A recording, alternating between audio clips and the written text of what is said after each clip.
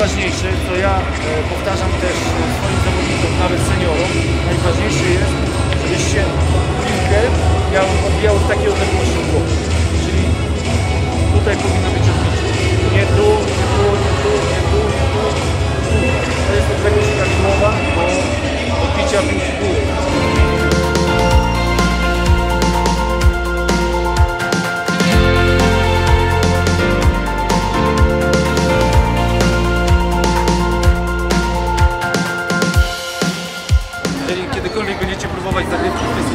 bardzo ważne jest, żeby zawsze prawa ręka, prawa noga były z przodu, przy podrzucie. Jak wyrzucamy piłkę do zagrywki z wyskoku, robimy coś takiego, że krok z prawą nogą, prawą ręką i robimy podrzut.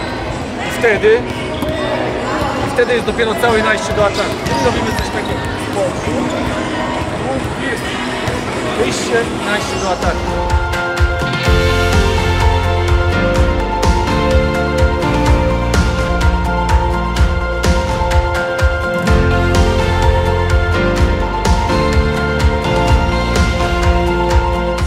Głównie odbicie górą, to mi się poprawiło. Teraz wiem, w którym miejscu dokładniej mam odbijać i ćwiczyliśmy też pod koniec zagrywkę. Też mi się tak trochę poprawił podrzut piłki i no ogólnie było fajnie. Ja się zakochałam w siatkówce już ponad rok temu i to było taki, taki dodatkowy trening tak naprawdę.